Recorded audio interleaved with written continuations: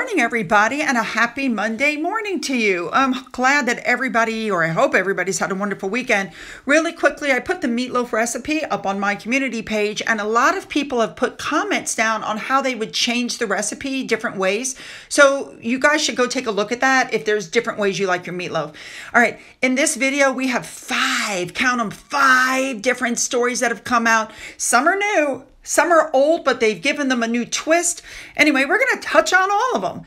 Uh, also, you should know that video number two, while it is royal family stuff, it's mainly focusing on the fact that William is being attacked online ruthlessly. We're going to cover all that in video number two. You're not going to want to miss it. A big thank you to that one on Twitter for the above picture. Let's jump in and cover what we have, shall we? Let's go. Well, this is a bit of interesting information long before the lease ran out, and of course, we know that, you know, the Queen passed, it's being reported now that the Queen had planned to somehow push Harry and Meghan out of Frogmore Cottage and give it to Prince Andrew. Interesting. This was claimed by royal expert Robert Hardman. I don't know where he's getting his information. I, I would love to see the proof of this. According to him, this plan would have gone ahead if the queen had lived just one more year. She said that the Sussex's time in Frogmore was, as she put it, unsustainable and had put plans in place to have them and Prince Andrew moved into different properties. So they're saying it was her plan to move him out to end the lease for the Sussexes and move Andrew in there, it was a money thing because she said it was unsustainable. Now, where Harry and Meghan would have gone, I can't even, it doesn't say as far as I can tell where they were going to send, where she was going to send them. But then they stepped back in 2020 and were asked to vacate the cottage we know in March of 2023. And let's not forget the entire property had been refurbished back in 2019. Andrew doesn't want to move because he feels that the Royal Lodge is in a ring of steel of Windsor Castle. But here's what it comes down to it sounds like Charles, in trying to move Andrew, is doing what the Queen originally wanted to do. Hmm. All right, let's move on. Here we go. All right, I covered this when I did the Oprah interview debunk, where you remember Meghan said Unlike you see in the movies, there's no class on how to speak, how to cross your legs, how to be royal. There's none of that training. That might exist for other members of the family. That was not something that was offered to me. Even down to like the national anthem. No one thought to say, oh, you're American. You're not going to know that. So that's me late at night Googling how, what's the national. I've got to learn this. I've got to learn these 30 hymns for church. I'm now going to play you some clips from the Oprah show and a clip from my previous debunking video. Here we go. Everywhere. Mm. Or was a move because you weren't getting enough support from the firm? It was both. Did you think she was well received in the beginning? Yes, far better than I expected.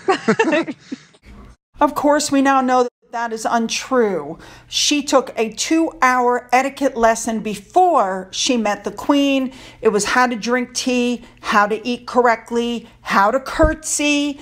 This was done at a tea room somewhere in California. The reservation was made under a false name. So when she said that she learned it quickly in front of the house, and yeah, that's not true. That's another lie. So, in case you're unaware, that is Samantha the Panther Cohen that you're looking at, and she gave Meghan Markle six months of royal training. So, I keep going back to what Valentine Low said. She wanted to be the victim. She wanted people to reject her. She wanted, you know, problems, and she got them. Remember, in the Oprah show, they said that they had been offered no help, but it's coming out now that people were sent, very expert people were sent, but for whatever reason, Meghan didn't trust them. She wouldn't use them. And now it's come out that even Sophie tried to help her. Sophie invited her over to her home for tea, but Meghan never once picked up the phone and called Sophie. Sophie was constantly calling her, trying to get her, you know, help. And and she totally, Meghan totally blew her off. Let's not forget what happened at their very last event where Meghan and Harry, I'm not going to show you the clip again, where they, they pushed through the chairs to get in front of Sophie and Edward. But for those of you who may not have seen it, at some point, Meghan and Sophie locked eyes and Meghan broke eye contact first because she knows what she did. She knows. Now, Giles Brandreth, who is a friend or was a friend of the late Queen Elizabeth, said that Queen Elizabeth understood that Meghan might find it difficult to adjust to royal life because it's challenging. It's, you know, very jolty. And so she decided to ask Sophie to help mentor uh, Meghan. Sophie can show you the ropes, but um, Meghan made it clear she didn't need Sophie. She had Harry. Well, we all know how well that went. I don't know what's happening. I don't know if people are breaking their NDAs. I don't know if people are getting sick of the royal family constantly being attacked. I don't I don't know what's going on. But what's being said now is that Meghan was offered help. They, they offered everything to help her adjust to royal life, and she threw it right back in their faces. Now, one staffer his name was Clive Alderton. He was private secretary to the king, even said, and I'm quoting, if we can get this right for Harry, we'll be creating a blueprint for future younger sons for generations. We've seconded people from Clarence House, and she said no. So it, it's come out that she was offered all the help in the world. She threw everything back in their faces and now is lying and saying that nobody helped her. And I think the fan the palace has had enough of the lies. Now, I want you guys to know I've reported on this before, but for some reason, a lot of people don't seem to remember this. Meghan Markle was offered Queen Elizabeth's black equerry to help her feel more comfortable with all of the racist accusations that were going on in the UK. You guys remember that? Omid Scobie, Meghan Mouth's mouthpiece, even said he was a charming and intelligent man, but he stood out like a sore thumb to Meghan and her friends, and Markle and her friends were insulted. he said it was likely due to a lack of black or other non white staff in senior roles. She goes, I doubt Kate or Catherine was offered an equerry for guidance. Well, since she wouldn't accept help from anybody else, Yes, I think the queen tried to be thoughtful and everything got turned down. Everything. Even Susan Hussey tried to help Meghan Markle and she turned her down also. Lots of people tried to help her. So basically, guys, what it comes down to is all these people, Sophie and Miss Hussey and, and you know, Cohen, all these people tried to help her, but because she was they weren't biracial, they didn't feel that you know Meghan didn't feel like they could help her. So then she was offered somebody who was black and she was like, "He sticks out." No. You guys get it. All right, let's move on. All right, this next story that came out, I kind of went, "What?" Okay. What it's saying is that Meghan is concerned that the royal family is somehow going to manipulate Harry into rejoining them. I want you guys to remember that this supposedly they're buying a home in Portugal so that Harry can rejoin the family. This is a I don't know what this is, but that would mean that the royals want Harry back. The royals don't want Harry back with Meghan. There is no half in, half out life. You're either in or you're out.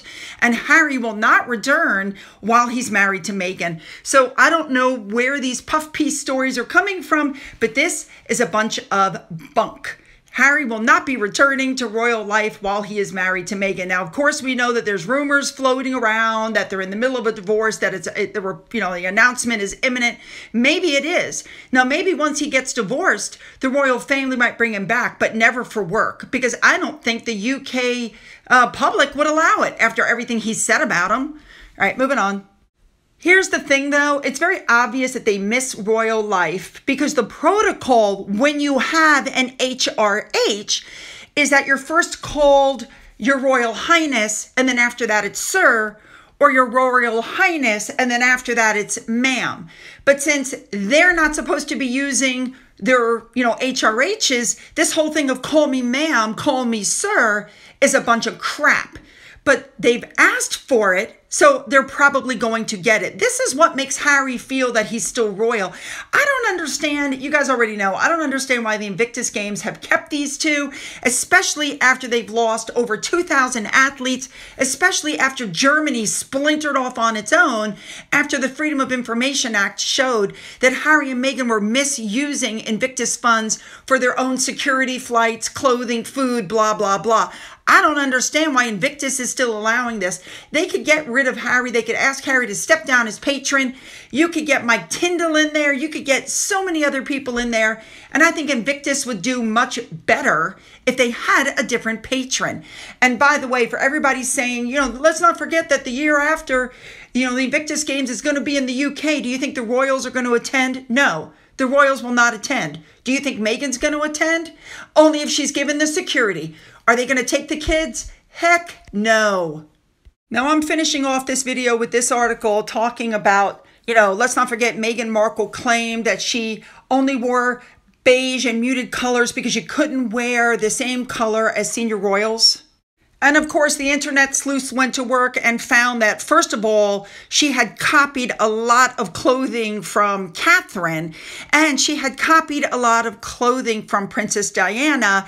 And no, it was not all muted tones. She wore purple, she wore red, she wore yellow. Of course, we know she was copying Diana also. I love the fact that when they came out, the royals did what they usually do. They said nothing. Instead, in a show of unity, they decided to all wear the same color. The senior royals, the non senior royals went to the Christmas special all wearing the same, I don't know, what is that, purple? It's like a wine color. So, of course, you have Catherine, and you have cute little Charlotte wearing the same tone of burgundy. And then later on in the day, Zara Phillips showed up in a burgundy coat, and so did Pippa. Okay, Pippa's not royal, but still. The point is, you said something without saying anything perfect. All right, you guys, you know what to do. Hit the like and the subscribe button and the bell for all notifications. Then go down into the description box after you've left your comments, okay? And hit the link for video number two. You're not going to want to miss it. Let's go.